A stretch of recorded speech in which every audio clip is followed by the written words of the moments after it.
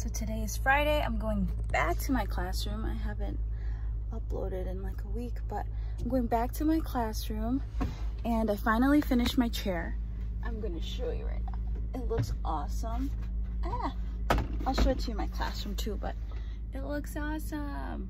But um, yeah, I'm gonna go back to my classroom, do some finishing touches before the school year starts and bring my chair in and get some work done. So that's my first part of my day today. And then later, uh, Benji and Blue are gonna be together and they're gonna have a little play date. So that should be fun. Oh my God, I don't know how to help you. Ah. I don't know how to help. Yay! Are you okay? Oh, you're okay. You're okay. Oh my gosh.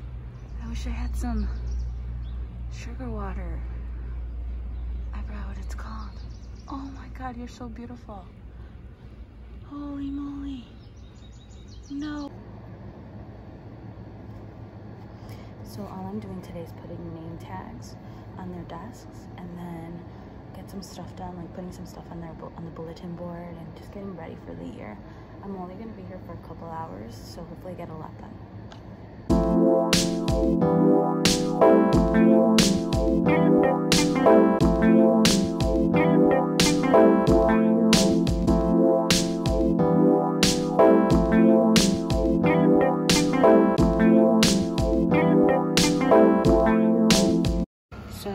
Different look and um, for my borders, so I'm changing this one and I just want a little white and black one. But um, I really like this type of design, so what I did was grab a pink one, turned it over, and designed it myself. Something very simple, and then we're gonna see how it looks like in the end. My bulletin over here, but it's, I like it, super plain, white. So before I leave, check out my chair, it looks super nice, I love it. I ended up not uh, painting the legs because I actually liked how it looks like this, just the top. I had the little gold rim around it. Um, so yeah, that's my chair.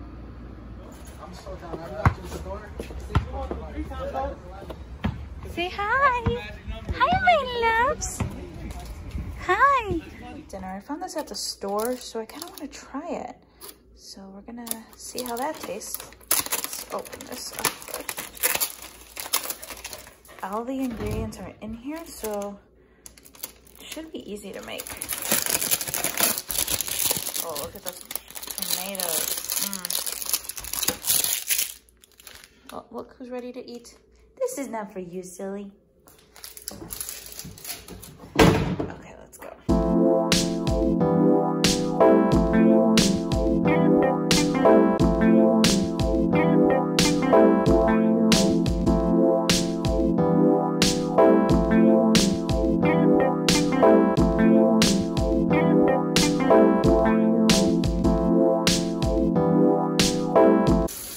Smells good, but I don't know if it's gonna taste good.